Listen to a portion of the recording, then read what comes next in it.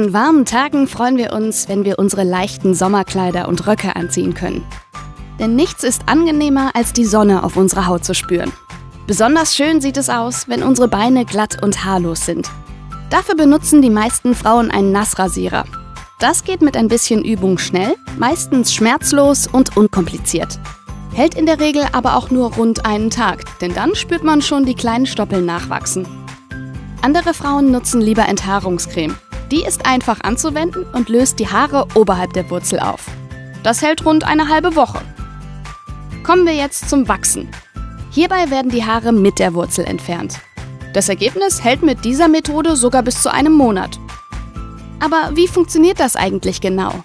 Und kann man das auch zu Hause anwenden? Wir haben es uns genauer angeschaut. Los geht's! Grundsätzlich gibt es zwei Sorten, das Kalt- und das Warmwachs. Kaltwachs ist in der Regel auf Papier oder Fließstreifen befestigt und wird mit ihnen einfach auf die Haut geklebt. Das Ganze wird dann ruckartig entfernt. Je nach Stelle kann das etwas ziepen. Warmwachs dagegen gibt es nicht auf Streifen, sondern in Töpfen und Tiegeln. Man muss es also zuerst erwärmen, in der Mikrowelle oder im Wasserbad. Es gibt inzwischen aber auch Produkte wie das Ved Spa-Wachs zum Beispiel, die es uns noch einfacher machen.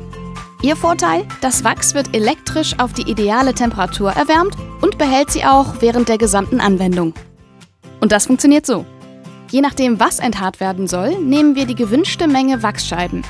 Etwa zwei benötigen wir zum Beispiel für ein Bein. Die Wachsscheiben legen wir dann nacheinander in das Gerät, schließen den Deckel und warten, bis das Wachs erhitzt ist. Das dauert ungefähr 30 Minuten. Es bleibt uns also genug Zeit, um uns von dem angenehmen Duft nach Purpurlilien und süßer Feige sowie der warmen Beleuchtung verwöhnen zu lassen. Wenn das Wachs die ideale Temperatur erreicht hat, tragen wir es einfach mit dem Spatel auf. Und zwar etwa 1 bis 2 mm dünn in Haarwuchsrichtung. Dabei hilft es, den Spatel wie einen Honiglöffel zu drehen, um die gewünschte Menge Wachs aus dem Gerät zu nehmen.